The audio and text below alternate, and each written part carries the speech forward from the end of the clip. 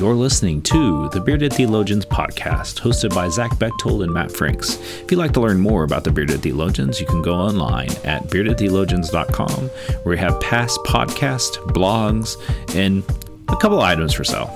So check us out, beardedtheologians.com. Thank you for listening and enjoy this week's show. So you got another project um, that you wanted to talk to us about, and so yeah, f- uh, feel free to share with us about this other project that you've got going on as well. So as I said earlier, one of my um, one of my goals in in my shift in life has been that I wanted to work on things that I'm passionate about, and because I'm passionate about ministry with with youth, especially, um, I'm also passionate about the fact that we as the church need to provide um, safe places for our youth to experience God, um, places with adults who are trustworthy, and um, places that that parents know that um, if my youth are in this place, the church has done everything they can do to assure that um, that harm isn't going to come to my youth. And you know, obviously, we can't possibly protect anybody from everything. Mm-hmm. Um, it's it's just an impossible task, and and living is a risk. I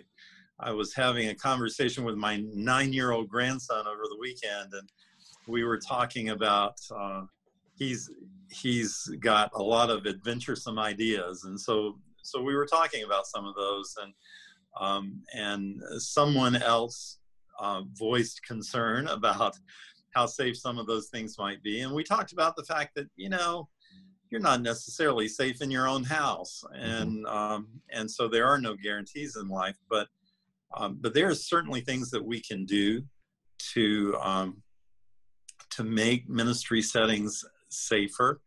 And, um, and that's the whole purpose of safe sanctuaries in the United Methodist Church, isn't it? Mm-hmm. Um, that's that's why it came into being, and um, so, for all of my years with discipleship ministries, before that in the local church, um, I, have been concerned about that and, and wanted to um, be as responsible in connection with that as possible. And, and for the last year and a half that I was at Discipleship Ministries, I, I was responsible for safe sanctuaries for the whole church. And, um, and so, after I left discipleship ministries, one of the well, one of the things that I recognized while I was here is that um, we are great in the United Methodist Church in terms of requiring policies about safe sanctuary, mm-hmm. and um, and the challenge with that is that we have lots of churches who have policies, and um, and those policies may or may not have been fully put into place in terms of practice. Mm-hmm. And the practice is really where kind of the rubber hits the road. You know, if if we're not taking what we know is important in terms of policies and implementing those in our practices, then um, then we may be creating some gaps and and uh, creating those safe ministry spaces. And so, mm-hmm. um, and so after I left um, discipleship, um, one of the things that that I have been doing is working with a company called Safe Gatherings that provides um, that provides an online platform for training for um, safe sanctuaries kinds of you know they're branded as safe gatherings. Um, their training covers um, what needs to be covered for a volunteer or they actually also work with some annual conferences in terms of their clergy. Mm. um, and so in addition to the the training by the way i took the training just to be sure i knew what was in it mm-hmm. and i made a hundred. I i just wanted you guys to know that. I i actually was able to pass it. Perfect. So um so in addition to that, they they handle the uh, the background checks and they also handle the reference checks. Um, you know, a lot of churches say, "Well, we just don't have anybody to take care of that for us, or we don't really have the security in terms of a place to keep the records for for the background checks and um, and all of those kinds of things. And and safe gatherings came out of the church of the resurrection. Um, mm-hmm. it's actually owned by a family that goes to the church of the resurrection. They were already doing online training for other things. And um, and so the person in charge of safe sanctuaries came to them and said um, you know, is there a way that um, that you could do online training for for safe sanctuaries? And um, and so safe gatherings was born and and um, I've had the the chance to get to know the the family there and um, and know their care and um, have had an opportunity to talk with some of the folks in the annual conferences that are using them um, and and that has been really helpful um, for a lot of annual conferences because they had all the resources in one place. I know even um, in my last local church situation, we would have somebody who volunteered in the middle of the year and we didn't have a training coming up for safe sanctuaries. And so either that person had to wait or we had to do kind of a one off training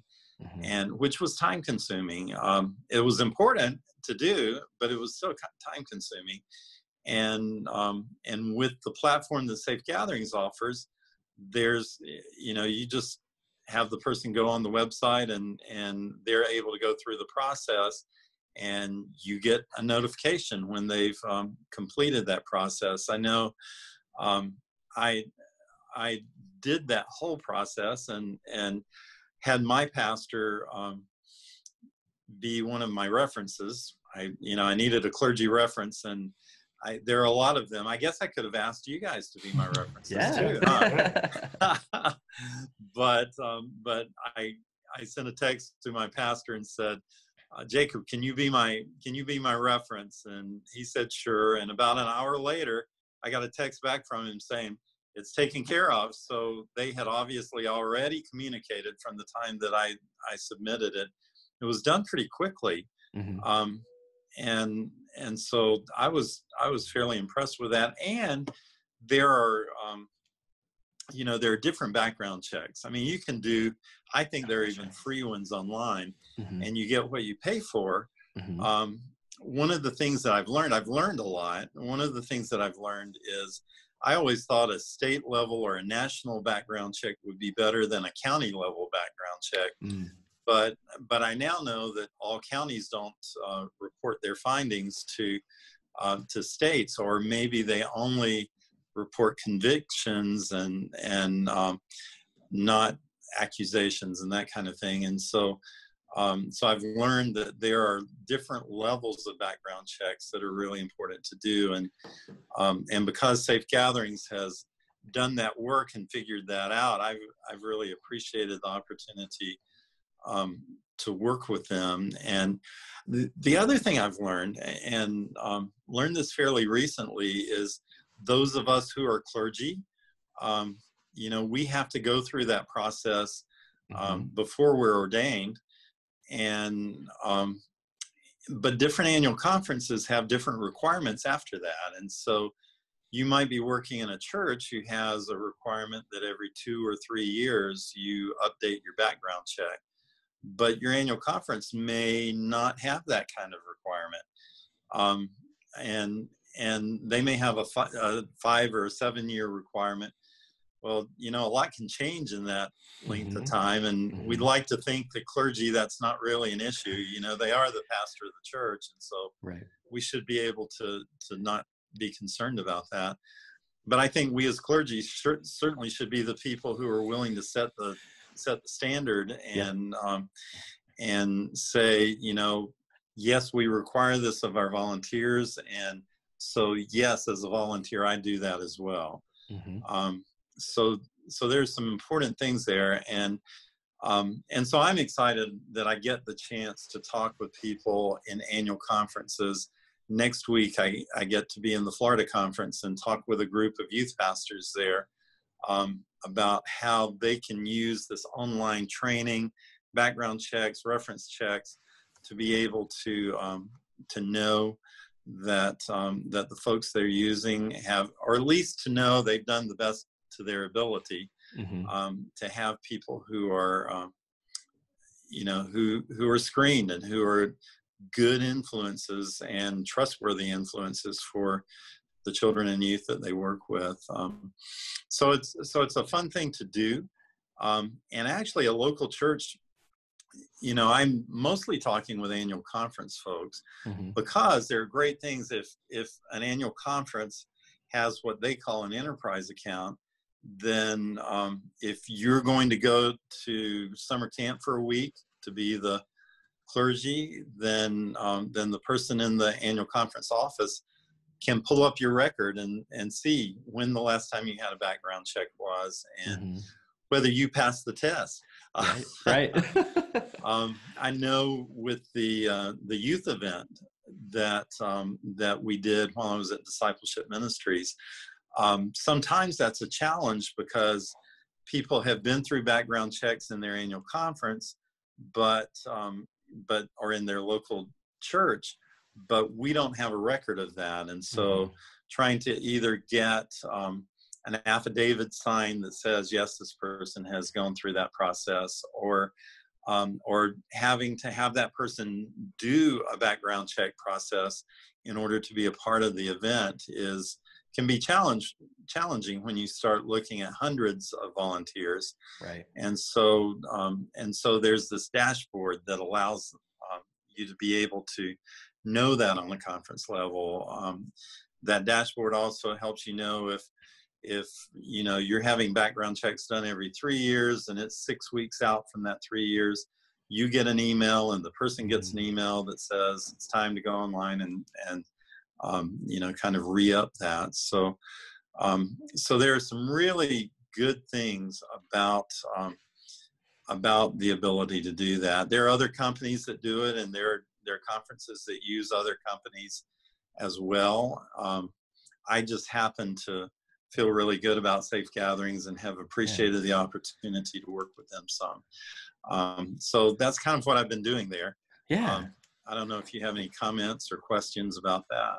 Well, no, just in the importance of safe sanctuaries. Um, I worked in the church with youth and children um, for seven years in two different churches before I ever did anything safe sanctuaries, ever had a background wow. check. And it was the third church that I, I went to that required it. The other two churches had policies, never followed up on them. Yeah. Uh, and so it was the third church I was hired in full time as a youth and children's director that said, Hey, uh, we have to do safe sanctuaries. Oh yeah, sure, okay. No, no, no, we really have to do it. And and yeah. went through the process of it, and I had a really love hate relationship with it until I until I had an issue of of mm-hmm. taking somebody to camp who acted inappropriately and had to be sent home, uh, an adult, and it completely changed my mindset on the necessity of having to have these uh, having to ha- having to actually follow through on our process follow through on uh, the policies that we put in place and how important they are because it it truly at the end of the day is to keep kiddos safe and that's important it is and, and, and one of the things I found funny is that when I was an associate pastor and they were like, no, Matt, you have to go to safe sanctuaries training. Mm-hmm and you need to sit through our training. And I said, well, which training do you all use? And they said, well, we use the ones that they can't provide. And I said, look on the back of that. My name's on the back of that. I helped write that. I helped write the, the policy. I, I know it fairly well. Now, I'll, you know, I'll be a good boy and I'll go sit through the training. Um, and that's been one of the things um, in, in my current appointment, we're, we're in the process of rewriting our safe sanctuaries policy to be more modern and updated um, but to also not be as I mean it's very camp centric. Sure. Um, mm-hmm. And we have we have some things that we uh, don't necessarily do that are different than what they do at camp, and so trying to fit that into our policy uh, with our preschool and um, and having to address because we do have some vulnerable adults and and having to really define who those are and how we handle mm-hmm. those and um, and being able to provide we do, we try to do a training two to three times a year um, because we always get new preschool staff and so like we that's like top priority for us and um, you know, uh, I think this will be a really good resource for uh, churches to have that if they don't have that capability, Mhm. um, to have that available uh, for them. Because I know it was like being in a small church and like walking up to my church leaders and saying, "All right, so we're going to do this youth event, and you all are going to be there, and uh, I need you to do." Uh, say sanctuary training. I need a background check, and everybody's like, "Nope, I'm out. I'm not doing Yeah. this." Or like, like I don't um and and and they just didn't want to take the time but to have a space where Mhm. they could do it online Mhm. at the comfort of their own home you know that, that i think that can provide some space that um, hasn't ever been there before in a lot of our churches um, one of the, the access to it of because i've been in conferences that have had both had programs that were online and people could do it wherever they were and then had to sit down and do the three hour training with a bunch of college students or adults or Mhm. whomever uh, and it's hard it, you know uh, just the access to be able to do it where people are on their time you know Right. and not having to bring an extra person in or not having to set out an afternoon or uh, two or three times a year to get it done. Because, like you say, you, you just have people waiting in the wings that want to do ministry, and it's like, well, you got to wait till Gotta October. get this done. Yeah, Right. exactly. Um, and and so it helps our churches be uh, a lot more streamlined and effective and efficient in how we do ministry and um, get people into ministry that uh, are feeling called in those spaces in our local churches and camps and every everything we do with children and youth. well, So- and that's where it'd be nice to have i mean shoot you would think that in a connectional church that like if i was going to go to montana Mhm. my cur- my safe sanctuaries practices Sure. would transfer over Right. But in a lot of ways it doesn't i know that's Mhm. been a conversation we've had in volunteers and mission stuff um, is is when we provide that you know like um, we have a group going to mccurdy and mccurdy like wanted us to send them exactly what we do with our vim teams so that way they Mhm. knew Mhm. that what we were providing was going to be up to their standards um, and so it'd be nice to have a like a universal platform um, Mhm. in in a connectional system that we are at least until you know we'll see what happens after May. But um, but still, even then, there could still be possibility of connection, even though we may be yeah, disconnected.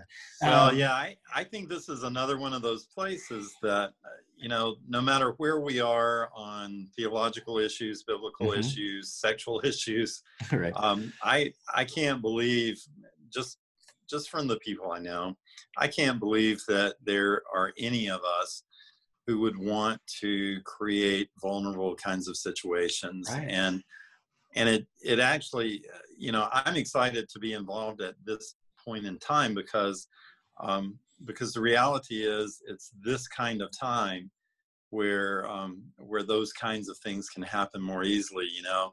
The safe sanctuaries just kind of slips through the cracks because we're busy trying to work on these big issues and topics but but then that becomes a big issue and topic because of the harm that we do to individuals because of the harm that does to a church and the church Mhm. and um, and you know the financial kind of hit that the church can take because we didn't do the work we should have done in in the Right. first place Right. yeah Yeah, and and I that's what I tell people now uh, that I have less of a love hate relationship with it. yeah Of it's it's really about keeping kids safe, and how can you argue with that? you know we've got to take the time to do these things to make sure um, the people we're putting our, our children with and sending our children to are going to be safe are going to know Yeah. what to do if there is an issue uh, if you know gosh it's so so so important um in in you know thank you thank you uh for for continuing to lead uh and be a part of the work of of doing safe sanctuaries of doing safe gathering gatherings and getting the word and research and and ah, gosh the the programs you know the the accessibility out there um because it is important you know even it really in, is. even in rural montana where you know it's my my kids are the only ones in church. If somebody's Yeah. going to go hang out with them i want to know who's hanging out with them right? Uh in in in like you said for the same for me as the pastor as the clergy to to set that standard of i want you to know who's in front of you you know, exactly. That's so so important. Yeah. yeah. I agree so Mike, we, we thank you for your time. Uh, is there anything else you want to share with us as uh, before we uh, get ready to go? I mean, I know you, I know you got a lot uh, going on. Um, but we Uh, also I'll want give you rest for now. we'll just we don't have any we we, we have nowhere to go now I mean, I've got a couple of other projects that are kind of out there in the wings hmm that um, that I can't wait to tell you about and Yeah. and uh, see moving forward. But um, but those things are are not quite there yet. That's you okay. know? you know you always have an open invitation uh, to come Well, you us. guys are awesome. I appreciate the invitation and um, you know appreciate you guys and what you're doing and and um, the way that you use your voices and your access to be able to um, to share a lot of different opportunities, possibilities in ministry. Uh, so thanks. No thank you you're uh, truly the one to blame for this uh, and, and, and actually, you could. maybe maybe it was the weather. maybe it was the Maybe it weather. Was a- I mean, you could definitely add, you know, co-inspire of uh, bearded theologians to your Sure. There you go. long list of There you things. I'll take it. And, and, and so, I you know, catalyzed that. That's right. opportunity. you were lead catalyst here as Yes. well That's right. Yeah, I just didn't know it at the time. neither did we and it's been perfect cool. so we thank you for your time, Mike. And so for the bearded theologians, I'm Matt Franks. i'm zach bechtold thanks for checking us out Thank you for listening to the Bearded Theologians podcast. Don't forget to like, subscribe, and share on all social media outlets. You can check out old episodes and more information at beardedtheologians.com. Thanks for checking us out.